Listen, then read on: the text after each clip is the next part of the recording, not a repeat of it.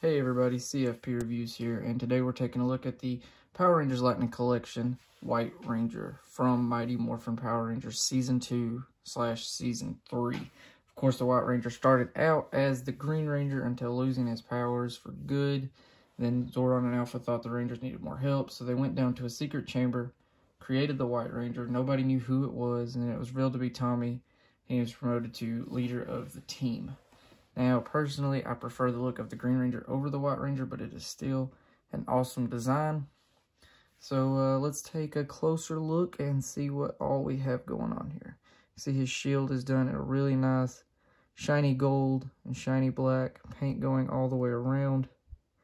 Really nice. Now with these figures you got to watch out because a lot of them do have really sloppy paint, but mine, as you can tell, no real issues there all clean paintwork all the way around.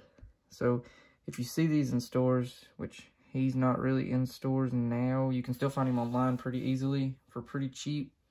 But uh, give them a really, really close look. I would really recommend if you can buy them in person, do that because a lot of them do have sloppy work. But other than that, they're really solid figures. So let's take a look at his accessories. Uh, he comes with, of course, Saba the White Ranger would not be complete without his trusted talking sword. Now, Saba also done really nice. Uh, one thing that's kind of unfortunate is the head. If it will focus, and let's move him out of the way, see if we can focus on that a little better. The head, unfortunately, is entirely silver. The face should be white instead of silver, but it is still really nicely done sword. Um, all the paintwork is there. Now, one thing I do have a gripe about is this sword is kind of an in-between. Um, it's a little too long to be holstered, but it's too short to be the fully extended version. I wish we kind of would have got a holstered and an extended instead of just the one that's kind of in between. But it is still really nice, uh, so you can't complain too much. All the details there, the coin, or, well, not coin, but the logo is there. The strap. I mean, it's it is really nice. Um, another accessory included is the alternate Tommy face, which is really, really nice. It's not a perfect likeness, but is the best we've had in toy form. It blows the Figuarts likeness out of the water. I mean, it is just, it's really nice, especially for a $20 figure. You can't complain. He comes with a blast effect piece, which is okay. It's not great. Um, I kind of would have rather them just left it out and gave us the other sword or maybe a better one. I don't really understand, but it's it's decent. Then he comes with a karate chop hand because, you know, he's a martial artist, so got to have the karate chop. A closed-fisted right hand and then on him, he has the sword holding right hand and a closed-fisted left hand.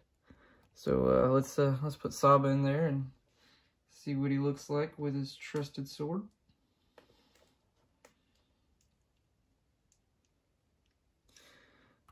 So as you can see, just really nice, nice looking. And you can see kind of what I was talking about. It's, it's a little short. You know, it should be just a little, just a touch longer in my personal opinion. Maybe I'm wrong. I don't know. I haven't watched the show in a while, so I just feel like it should be a little longer. But uh, other than that, I mean, this figure is just absolutely incredible. The best.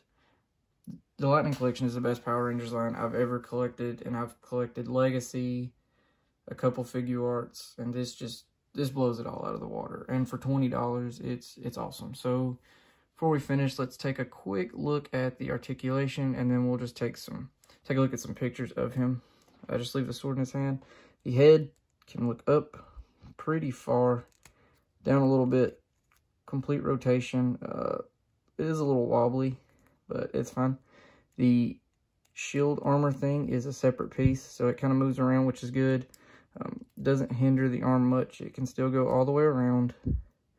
Uh, double joint at the elbow, swivel at the top of the arm, it can bend up and down, but it's really, really tight. And then wrist swivel. He can move all the way around. Great range of motion. Oh, one thing I did forget to mention is he does have a butterfly joint right there. So that lets the arm move. I mean, just just incredible posability in this guy. Leg can swing forward uh, around 90 degrees. Can't go back any. Swivel at the thigh. Double jointed knees. Rotate above the boot. And then the wrist, or the ankle, that is not a wrist, can swivel, move down and up. A lot of these joints are really stiff and it kind of makes you afraid you're going to break it, but haven't yet, so fingers crossed it never happens. But uh, overall,